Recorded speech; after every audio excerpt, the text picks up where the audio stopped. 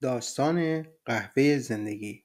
چند دوست دوران دانشجویی که پس از فارغ تحصیلی هر یک شغلهای مختلفی داشتند و در کار و زندگی خود نیز موفق بودند پس از مدتها با هم به دانشگاه سابقشان رفتند تا با استادشان دیداری تازه کنند آنها مشغول صحبت شده بودند و طبق معمول بیشتر حرفهایشان هم شکایت از زندگی بود.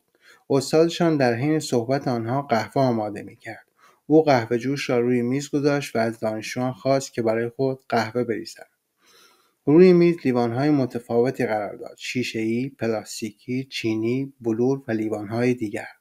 وقتی همه دانشجوها قهوههایشان را ریخته بودند و هر یک لیوانی در دست داشتند استاد مثل همیشه آرام و با مهربانی گفت بچه ها ببینید همه شما لیوانهای ظریف و زیبا را انتخاب کردید.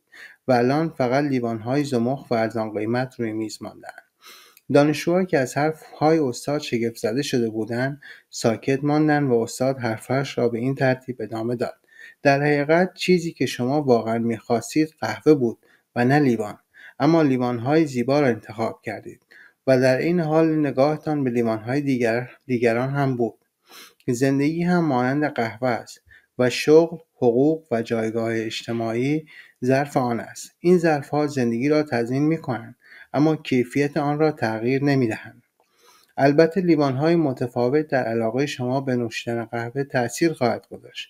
اما اگر بیشتر توجهتان به لیوان باشد و چیزهای با ارزشی مانند کیفیت قهوه را فراموش کنید و از بوی آن لذت نبرید معنی واقعی نوشیدن قهوه را هم از دست خواهید داد. پس از حالا به بعد تلاش کنید نگاهتان را از لیوان بردارید و در حالی که چشمهایتان را بستید از نوشیدن قهوه لذت ببرید.